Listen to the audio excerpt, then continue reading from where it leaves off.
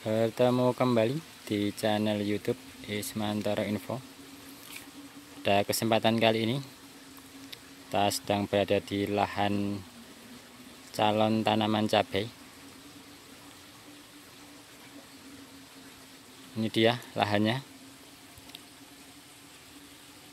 Kali ini kita akan mempraktekkan cara pemupukan dengan sistem tugar setelah mulsa terpasang.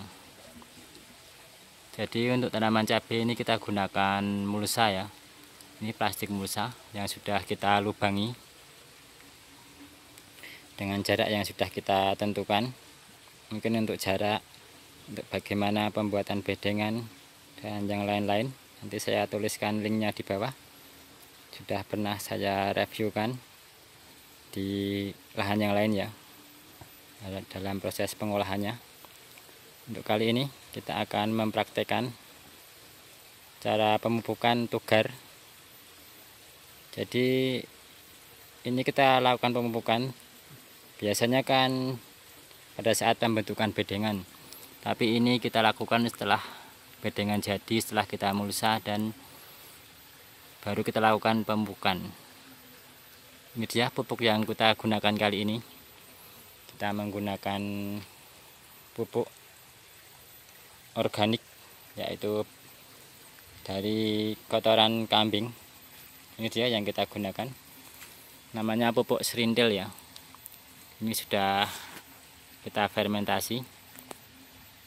Ini pengalaman ya. Jadi kalau kita lakukan pemupukan itu lebih baik yang sudah benar-benar jadi pupuknya biar tidak mengganggu ataupun menimbulkan beberapa penyakit dan kendala. Ini dia. Kita lihat dulu menambah pengetahuan ya tentang pupuk. Namanya pupuk serindel kalau di sini ya ini dari kotoran kambing. Ini telah difermentasi secara optimal. Nah ini dia. Ini mengandung beberapa kandungan ya yang kita tidak perlu lagi mencampurnya atau menambahkannya lagi. Ini tinggal pakai. Udah ada asam mumatnya ini. Udah ada trichoderma harsianum.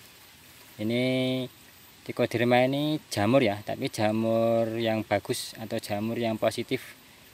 Jamur yang menguntungkan. Ini sebagai pengendali layu fusarium jadi jamur ini hidup di dalam tanah ketika sudah kita masukkan pupuk ini ke tanah dan dia melindungi dari jamur-jamur negatif. Jadi istilahnya menyerang jamur-jamur negatif yang datang sehingga tanaman tidak mudah terkena jamur-jamur yang negatif seperti jamur-jamur yang menyebabkan layu fusarium.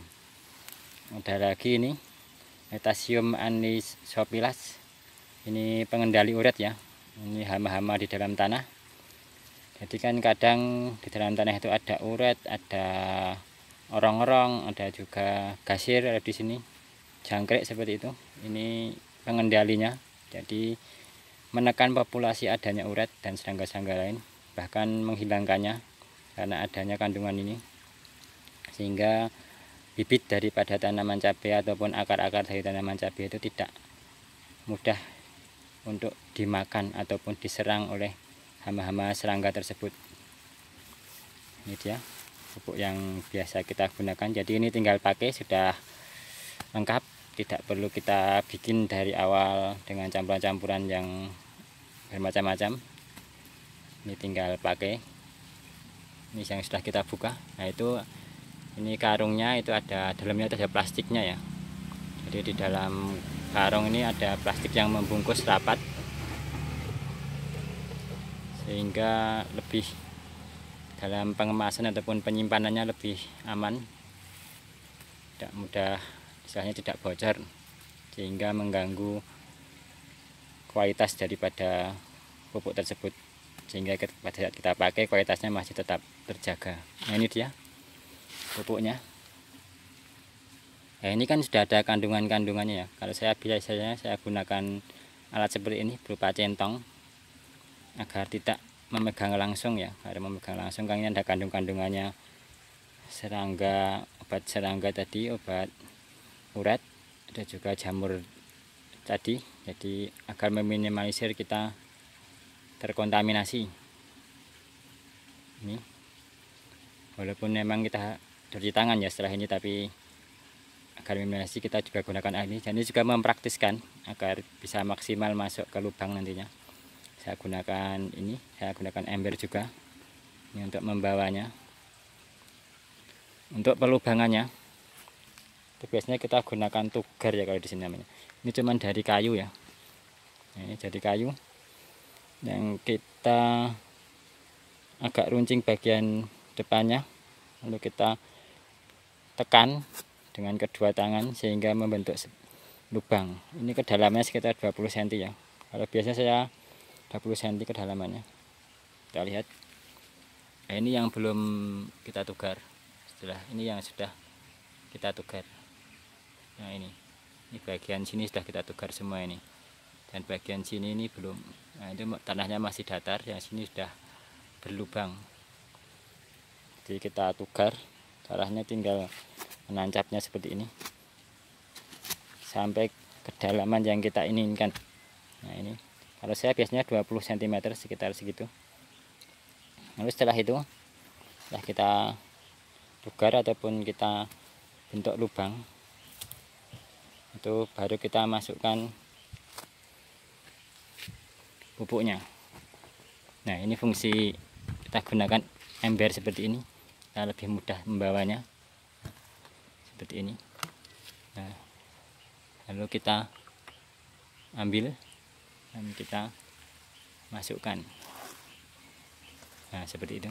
Nah ini meminimalisir adanya tumpahan sehingga masuk semua. Ini alat yang cukup efektif ya bagi petani walaupun ini sebenarnya buat nasi ya.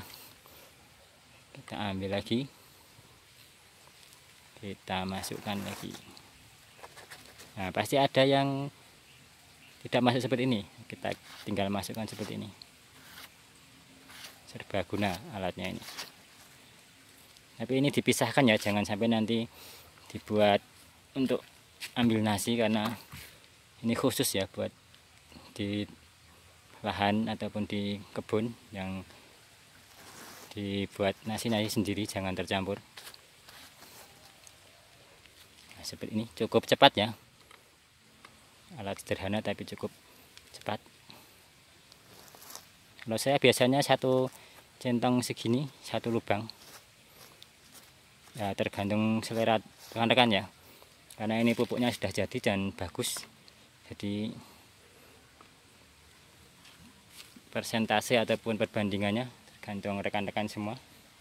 Kalau saya biasanya satu lubang seperti itu satu centong. Jangan ini yang sudah kita kasih pupuk semuanya ini. Nah ini sudah kita kasih.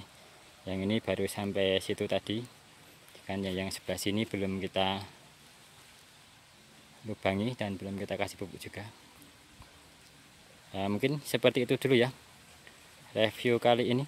Review singkat praktek cara pemupukan dengan sistem tugar dengan alat yang sederhana dengan pupuk yang sudah lengkap tinggal memakai seperti itu terima kasih. Silahkan lihat-lihat video yang lain di channel youtube Ismanto Info mengenai pertanian ataupun mengenai yang lainnya. Jangan lupa like and subscribe channel youtube Ismanto Info. Terima kasih